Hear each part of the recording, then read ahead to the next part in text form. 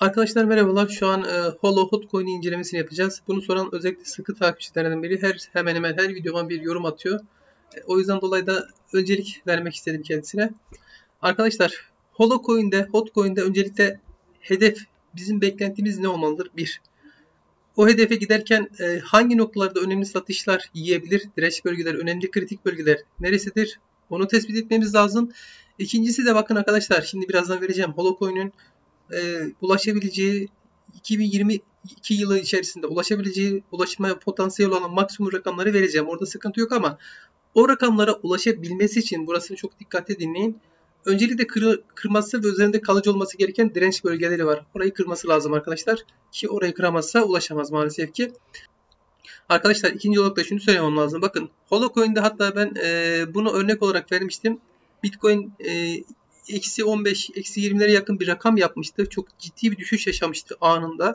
Ve o gün e, Hotcoin arkadaşlar Hotcoin kadar düşen bir kripto yoktu. Hepsi düştü ama bunun kadar düşen ve hızlı şekilde toplayan maalesef ki yoktu. Eğer elinde o takipçimin muhtemelen varmış daha önceden. Elinde nakiti varsa bu düşüş fırsatını çok güzel değerlendirmiş olması lazım. Bakın arkadaşlar Bitcoin'in sert düşüşünde %70'lerden fazla düşüş yaşadı. Şu an kava resmini vereceğim çok detaylara girmeden. Yaklaşık olarak da %300'e kadar evet %300'e kadar da o gün için toplamıştı arkadaşlar. Yani gün içerisinde size %300 kazandırdı. Hotcoin. Ben birçok videoda bunu söylüyorum. Ne diyorum arkadaşlar? Her zaman elinizde bir miktar nakitiniz olsun. Kötü piyasada daha fazla nakitiniz olsun. İyi piyasada ise gene nakitiniz olsun ama nakit oranınızı azaltabilirsiniz. O noktada sıkıntı yok. Bakın arkadaşlar işte en güzel örneği. Ne yaptı? Bu düşüşü fırsatı çevirenler gün içerisinde parasını 300 kat artıranlar kim oldu? Elinde nakit bulunduranlar değil mi? Nakit o kadar önemli arkadaşlar. Ben size tavsiyem kesinlikle e, paranızın tamamıyla tek noktadan alış yapmayın ama gene siz bunu yapıyorsunuz. Altını çize çize söylüyorum. Burada biz size hedefleri söylüyoruz. Güzel hedefleri var diye takipçilerin de bana dönüş geliyor. Hocam diyor sizin söylediğiniz mesela bir burger az önce görüştüğüm takipçimde. Hocam ben %75 kazandım sizin e, videoları izledim. Ciddi para basmış ama tek noktadan basmış. Bir baktım diyor birkaç gün sonra hocam %75 kazanmışım diyor. Allah bereket versin dedim. Ne diyeyim yani kendisiyle görüştüm az önce. E, görüşme yaptım. Şimdi arkadaşlar bakın.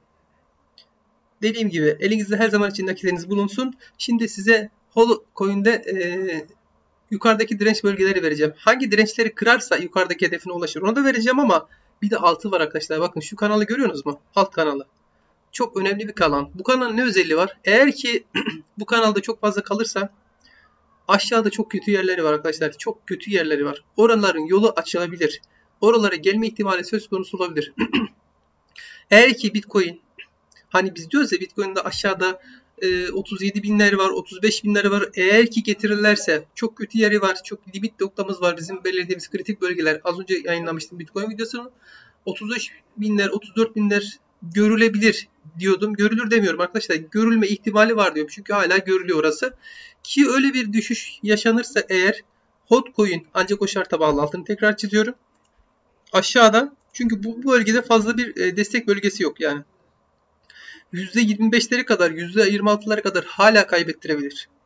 Ama kaybettirme şartını tekrar söylüyorum. E, Bitcoin'deki o sert hareketlilik olur. Eğer çok aşırı sert hareketlilik olmazsa e, belki bu noktalara kadar getirmeyebilirler. Yani ne var arkadaşlar 0.0 4409'lar 4400'ler diyelim. 4400'ler. Gelebilme ihtimali var. Gelir demiyorum. Gelebilme. Böyle bir ihtimal var çünkü desteği yok arkadaşlar. Ciddi bir destek yok yani. Tutunabileceği bir desteği yok. Şu an e, Hotcoin güzel. Performansı iyi. Niye iyi? Çünkü Bitcoin iyi olduğu için iyi arkadaşlar. E, bakın Bitcoin kötü olsa bu aşağı kanalda kalırsa kötü yani onu söyleyeyim size. Kötü yani aşağı kanalda kalması aşağıdaki yerlerin yolunu açar. Az önce söylediğim gibi ben şimdi burada hedef vereceğim ya. Bakın e, şu hedefleri var. Size onu da vereyim. Ne hedefi var? 2022 yılı içerisinde. 2022 yılı içerisinde. Bu hedefleri yani ne hedeflerin arkadaşlar? Yaklaşık olarak 6,5 kat 6 kat rakamlarını görebilme hedeflerinin yolunun açılabilmesi için de önemli kritik direnç bölgeleri var. Orayı kırıp üzerinde kalıcı olması lazım. Nasıl ki burada kalırsa aşağısının yol açık oluyorsa işte o direnç bölgelerinde kırarsa yukarısının yol açık olur ona göre. Yoksa bu hedef gerçekleşmez arkadaşlar. Oraları sıkı takip etmeniz lazım. Bazen de siz soruyorsunuz hocam bize bir kripto söyle biz unutalım. Bırakalım gidelim.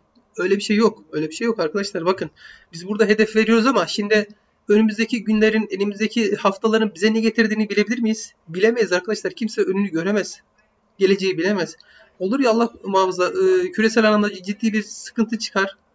Ülkeler birbiriyle savaşır. Her şey olur arkadaşlar. Olmayacak bir şey yok böyle. Yani dediğimiz hedefler gerçekleşmez. Önemli direnç bölgeleri vardır. Orayı kırıp kırılmamasına dikkat etmeniz lazım. Hedefler uzayabilir. Yani süresi uzayabilir. O yüzden dolayı da ben alayım unutayım olmaz. Bazen şu olur bakın. 2 kat 3 katlık bir hedefi olan e, bir e, kripto örneğini vermiştim. Geçenlerde videomda size örnek olarak anlatmıştım. Ama birinde alsat yaparak ilerledik. Birinde de hiç alsat yapmadık. Direkt aldık ve unuttuk. Çok ciddi de bu arada düşüşler yaşamış. %54 kaybı yaşat, yaşatmış. %30 küsür kaybı yaşatmış. Hedef noktasına vardığı zaman yaklaşık olarak 3x yapmıştı. Ama biz alsat yaptığımız zaman aynı kriptoyu 8.5 kattan 8.5 kat civarında yükselmişti arkadaşlar neredeyse. Arada çok büyük bir fark var. 3x nerede? 8x nerede? Burada da ama bak orada 3x rakamından bahsediyorum. Burada da hani herkese alsat yaptıracak ama e, burada da şu var arkadaşlar. Çok fazla böyle silkelemeler yapmıyor. Bu yavaş gidiyor, daha stabil gidiyor ama öyle çok aşırı sert hareketler yok. Bazıları öyle arkadaşlar çok aşırı sert hareketleri var. Ha burada hareketleri var bakın. Niye? Bu normal çünkü çok yükseltmişler bakın. Çok öyle sert hareketleri falan yok bunda. Şu düşüşlerdeki sert hareketleri saymayın aşağı getirebilmek için bu hareketleri bilerek yapıyorlar zaten. Yoksa aşağı getiremezler ki. Kolay kolay. O yüzden dolayı da biraz da panik satışta arkasına katıp aşağı yönlü hareketlere bakın görüyorsunuz mu arkadaşlar nasıl getiriyorlar? Direkt aşağı getiriyorlar. Burada da aynı şekilde. Ama benim dediğim gibi şu an yaklaşık olarak 6 katlık hedefi yapabilmesi için bir yaklaşık olarak 0.018'ler yani 18.000 rakamının üzerinde 18.800'ler 19.000 yakın rakamları kırıp üzerinde kalıcı olması lazım. O rakam özellikle çok kritik direnç bölgesi. Bakın bu noktalar çok önemli. Bu şu an söylediğim size e, uzun vade arkadaşlar. O soran arkadaşım için söylüyorum uzun vade. Oraya gelene kadar daha arada direnç bölgeleri var. Onları çok detaylı çizmedim. Siz çizince zannediyorsunuz ki hocam e, hepsini çiziyor nasıl olsa sallıyor tutuyor. Öyle bir şey yok arkadaşlar. Bu çizimlerin hepsi kritik destek ve direnç bölgeleri. Yani aşağı gelirse nerede tutulur, nerede kalır, e, yukarı çıkarsa nerelere gidebilir? Şu an çizdiğim grafik mesela en az en az bir yılı kapsıyor. En az bir yılı kapsıyor. Evet. Bir yıllık süre zarfında gö görebileceği hareketler bunlar. Çünkü ben açtığım zaman direkt grafik karşıma çıkması lazım. Yani bana çünkü e, gruptaki arkadaşlar, kapalı gruptaki arkadaşlar da soruyor bazen. Yani sorduğu zaman cevap verebilmem lazım ben. Çünkü ben genel resmi görmem lazım. Kısa resim çizemem arkadaşlar. Kısa resim bana uygun değil. Bayağı zamanım alıyor ama teferruatları da ayrı çiziyorum böyle. Ara destekleri falan mesela şu ara destekleri çizmedim. Şu an için niye gerek yok. Şu an bunları söyledikten sonra bunlara dikkat edin. Yoksa biz alayım unutayım olmaz arkadaşlar. Hele şu piyasada al unut diye bir şey söz konusu değil. Direnci kırmış görülüyor arkadaşlar. Günlükte baktık ama bir de 4 saatliğe bakalım. Bakın 4 saatlikte de kırmak üzere. Yani şu an direnci e, kırarsa iyi olur. Kırar, kıramazsa kötü arkadaşlar. Kıramazsa aşağısının yolu açılır. Bilginiz olsun bak. Çok önemli. Çok ciddi yerler. Kırıp kalıcı olması lazım. Ben kırdığını düşünerekten e, size vereceğim. Ama Bitcoin aşağı gelirse bu da biraz daha aşağı gelir. Bilginiz olsun. Şu anda bulunduğu rakamı kırdı. Ve üzerinde kalıcı oldu. Ara bakın ara de, e, de, direnç bölgeleri çizmedim ben. Çizsem siz ama da çok çiziyorsunuz hocam tutturuyorsunuz sallıyorsunuz dersiniz. Yok öyle bir şey yani arkadaşlar yok. E, 0.0 6400'ler diyelim arkadaşlar. Sıfırları saymadım. 6400'ler. 6700'ler. 7200, 7300'ler yaklaşık olarak direnç bölgeleri, satış yiyeceği bölgeler. Buralar çok önemli bakın. %22 yukarısı. Eğer ki maliyetin yukarıdaysa e, destek atabilirsin çok düştüyse ama Destek attıysanız da bu söylediklerim hiçbirisi yatırım tavsiyesi değildir. Altını çiziyorum. O soran özellikle takipçim için. Aşağıdan destek atıyorsun. Bakın kritik bölgelerde satış yiyecek. O bölgelerde alsat da yapabilirsin. Ortalama düşürmek için. Hem de bir miktar elinde nakit oluşur. Ki buraya kırarsa bakın arada direnç bölgesi var. 7790'lar 7800'ler yaklaşık olarak. Ki burayı da kırarsa 8545'ler 8500'ler ve 9400'ler önemli direnç bölgeleri satış yiyeceği bölgeler bilgin olsun. Peki aşağıda. Bakın niçin diyorum ben. Bu kanalda fazla kalmasın arkadaşlar. Kalırsa kötü diyorum. İşte kanalı kırıp üzerinde kalması lazım. Kalırsa ne olur biliyor musunuz? Kalırsa şu arada bir e, zayıf bir destek noktası var. Şimdi 4 saatte aldım orada günlükte görülür ama Şöyle günlüğe alayım hatta. Şu aralarda zayıf destek bölgeleri var. Tutunursa eğer orada tutunur. Direkt aşağı inmeden önce şu arada destek noktaları var. Oralara detaylı çizmedim ama hemen hemen kanalın ortasına denk geliyor. Hemen hemen geliyor arkadaşlar. Yaklaşık olarak işte e, 48 bin, e, 4800 rakamlar. 4800 rakamlar. Kötü yer aralıkta söyleyebileceğim şu an için 4300'ler var arkadaşlar. 4322'ler 4300'ler var. Gelmesine bağlı olarak değişecektir. Burası gerçekten önemli destek noktaları olacaktır. Daha aşağısına. Buralarda işte dediğim gibi Bitcoin kaynaklı çok sert hareketlerde gelir ve anında da toplayabilir.